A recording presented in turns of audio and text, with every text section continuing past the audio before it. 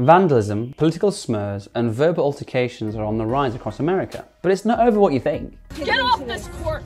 Freedom of speech. Yeah, get Go. Leave the kids alone. Get out of here.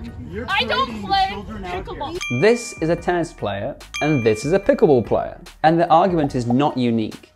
In fact, it's been waged across the country in a winner take all war for the future of recreational sports. For decades, tennis courts have littered retirement communities and country clubs, but the sport's growth has been flatlined in America. This is largely due to the insanely high barrier to entry. It's expensive, difficult to play, and not fun when you're just starting. But pickleball is positioning itself as the exact opposite cheap to start and easy to pick up. This is rubbing the tennis community the wrong way and they're not going down without a fight. One park in Santa Rosa, CA saw its pickleball courts vandalized with six quarts of oil and a note threatening to key the car of any pickleball player that came back to play.